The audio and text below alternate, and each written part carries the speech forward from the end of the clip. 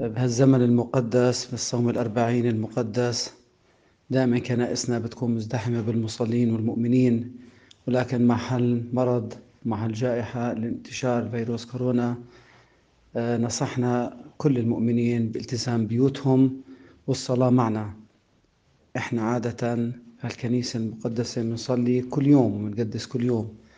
أنا بقدس كل يوم مع الرهبات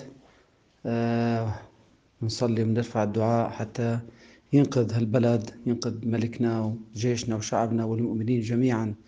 ونطلب من الشعب المسيحي المؤمن ومن الشعب أجمعين أنهم يلتزموا بيوتهم يصلوا معنا بالروح. وإحنا بنصلي معهم دائما نذكرهم في صلواتنا. والله يبعد عنا وعن الأردن كل مكروه.